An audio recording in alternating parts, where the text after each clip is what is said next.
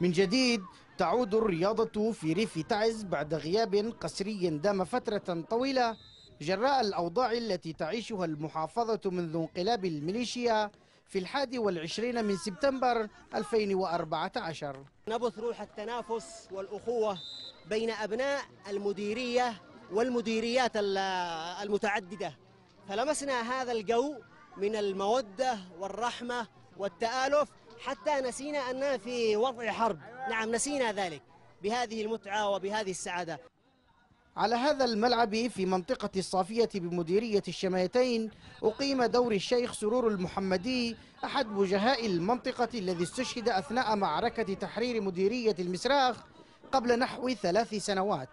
تتنافس في الدور عدة فرق من مختلف عزل المديرية.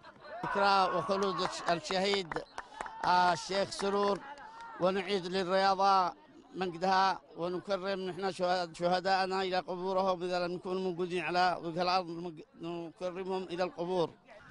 جهود مجتمعية ورسمية تدفع الأنشطة الرياضية إلى العودة مجددا إلى المحافظة انطلاقا من أهمية الرياضة في حياة شريحة الشباب ودورها في صقل المهارات والمواهب الشبابية. الجانب الرياضي له أهمية بارزة في اهتمام ببطاقة الشباب وكذلك تنمية قدراتهم واستغلال أوقاتهم فبدلا من أن تهدر الأوقات بدون فائدة كان للدور الرياضي المجال الواسع من أجل استقطاب هؤلاء الشباب ودعمهم للاستمرار في في الهواية الذي دخلوا فيها وهي جانب الرياضة. فعاليات رياضية عدة تنافست فيها فرق من مختلف المديريات أسهمت في إنعاش الجانب الرياضي. كان الأبرز فيها الفعاليات التي أقيمت في إطار الاحتفال بالذكرى الثامنة لثورة الحادي عشر من فبراير.